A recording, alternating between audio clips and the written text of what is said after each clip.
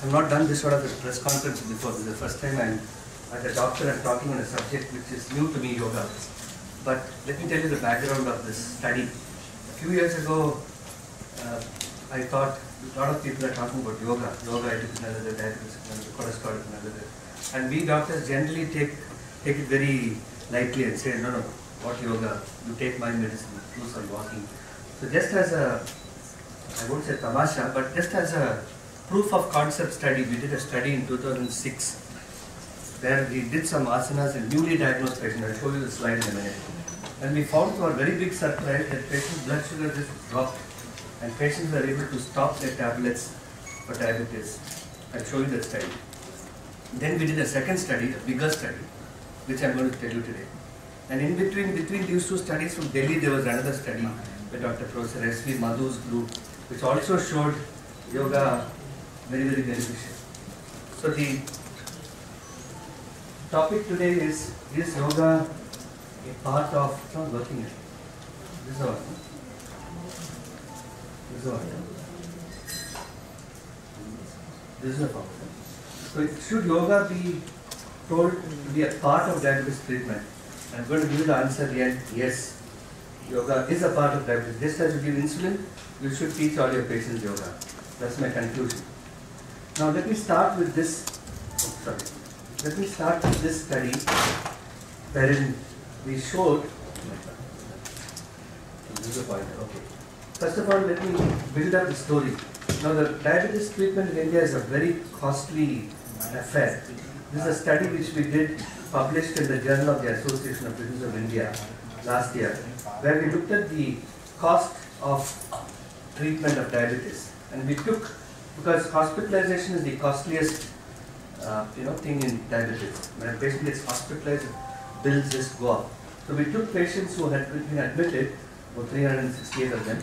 Most of them had been admitted for cataract surgery or treatment of the retinopathy, for removing their leg or foot, like that. You know, where the kidneys were having some failure. And this were the study group of that particular study. And we found that patients who did not have any complication, group 1, and we compared, compared that with patients who had two complications, eye, kidney, foot, kidney, foot, eye, like that. So this was the second group. You can see that the number of days spent in the hospital was about six times more in people who had complication. Lab charges were three times more. This is the average. This is the mean. This is this is the range. This is the uh, mean, and this is the range. So lab charges were three times. Medical consultations because you have to ask the nephrologist to come, this uh, you know cardiologist to come when you have some complications. So naturally the medical fees go gone up. Medicines are more because those with complications spend they have to be given multiple drugs for blood pressure and all that. Hospital charges were six times more. Transportation charges were more. Total expenditure itself was about four times more among patients who had complications. And we took a previous two years expenditure, it was about definitely more. How did, how did we do the study? We took the hospital bills of these patients. We looked at all their bills and we gave them a questionnaire on how much money they spent for coming to the hospital and all that. So this was a study done and published. And how did the patients pay? This is the sad part of it. Most of them, to meet these expenses, they were actually taking their money from their bank accounts, personal savings. They were borrowing. Only about 7% were having some sort of a medical insurance, and only about 11% had some sort of a company reimbursement. Which means about 18% is by company or insurance. The remaining, nearly 78, 80% is out of pocket expenses. So patients have to lift their purse or write a check and give it to the hospital. So this is a sad state of affairs because insurance companies are not covering all the diabetic complications. They're not giving some outpatient care. That's the need of the hour. Insurance companies must pay diabetic patients for outpatient treatment so that they will not get admitted uh, with problems. Okay, so with that background, let me start the first study. We published in 2006 where we looked at the effect of yoga asanas in controlling diabetes in patients who had been recently detected with diabetes. They said, Doc, I've been detected with diabetes last month. I've come to you for treatment. These were the patients. And what we did was, we compared yoga with metformin. I was quite bold. I told my patients, metformin is the main drug for diabetes. It's called Glyciphage, glycomet. Without metformin, we will not send the patients out of our rooms. But I was bold enough to tell the patients, I got their written consent, that I'm not going to put you on metformin for three months. Your blood sugar is quite high, but I'm going to teach you yoga, you will do exercise, and you will control your diet. That was one group. The second group was the patients who took metformin, the usual. When the patients come to us, we put them on metformin and uh, so on. Sorry. So we had two groups of patients. The one which were on yoga and exercise and diet control. Another were on metformin and usual with exercise not, but no yoga.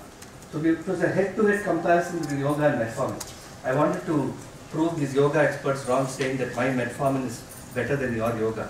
But see what happened. I had to eat my words because I found metformin, yoga is as effective as metformin. This is the HOMA. This is called a test for insulin resistance. In diabetes, what happens, insulin is there in the body, but it is not working properly because of more fat in the abdomen, the abdominal fat.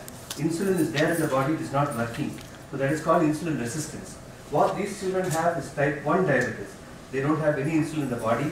They are injecting insulin right through. They have to inject three times a day, four times a day. They can't skip insulin in one day. If they skip one day, they'll have real problem. They'll be hospitalized. So this is a different, this is a minority in our country.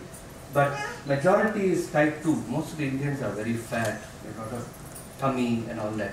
So the insulin is not working and that is a test which we do called HOMA to see how insulin resistance is there. You can see that the insulin resistance in the yoga group, you can see it falling. Just as metformin, you see equal. In fact, in metformin, one of it went up actually. So you can see in, met, in the yoga group, in every patient, the insulin resistance improved without taking metformin.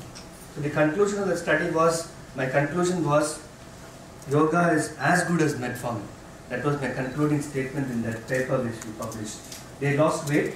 Those who practiced yoga uh, lost weight, you can see. Their HbA1c improved. I have not shown that data.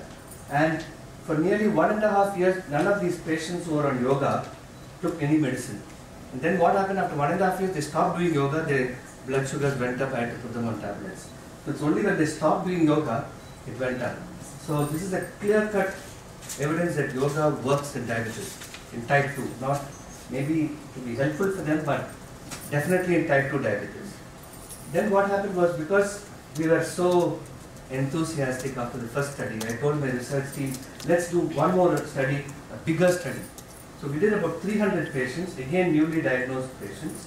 We took them and again, this time we did not divide them into yoga with tablets. We gave tablets to both the groups.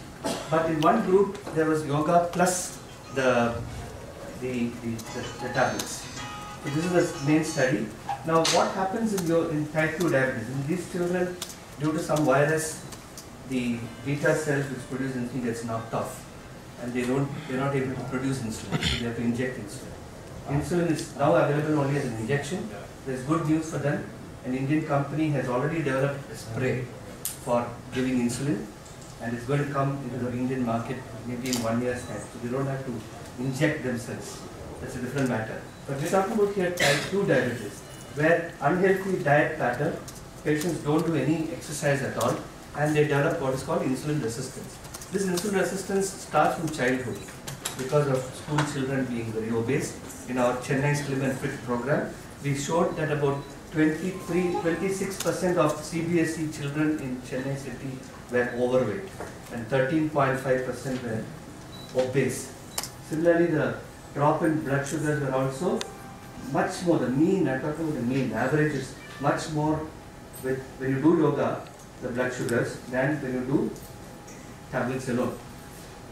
This paper was published two months ago in the International Journal of Diabetes in the Developing Countries. It's written in the press note. So this is an official journal of our RSSDI. RSSDI is the India's largest organization for diabetes called Research Society for Study of Diabetes in India. This is the main diabetic association of India and this is their journal. So they, it's a peer reviewed journal. So they send it to yoga experts and all that. People have done work on yoga. So it got published And this important point is, the study highlights that in group two, about 12 cases who are practicing yoga regularly did not require medication at the end of the study. This is what we showed in the first study also. For nearly one and a half years, we were able to pull on without tablets. And until the patient stopped doing yoga, then their blood sugars went up and I had to put them on tablets. Same thing here also, we found that many cases were able to go off tablets. They were newly diagnosed, so just controlling diet and all that, yoga came, you know, they were able to manage without tablets. Now this is another study from India, which is a properly done study. There are a couple of other studies, but not peer reviewed, but this is a good study from Dr. S.V. Madhu, who is the current president of the RSSDI from Delhi. S.V. Madhu uh, works at the All India Institute of Medical Science. This is another paper from India which has shown again a very positive impact of yoga and diabetes. This is by Savita Singh and S.V. Madhu. And they also showed similarly the weight comes down. The group one is a yoga group, yoga group, you see the weight reduction before and after. The patients who took only tablets. And you can see that their blood sugars also, triglyceride also, LDL also coming down drastically uh, with the yoga group in group one is a group yoga group. They've seen significant reduction in blood sugar, triglyceride, LDL. They also did another study looking at insulin levels in the body, insulin resistance, what I told you. This paper is there online. They also showed that the insulin levels in the body actually come down by doing yoga.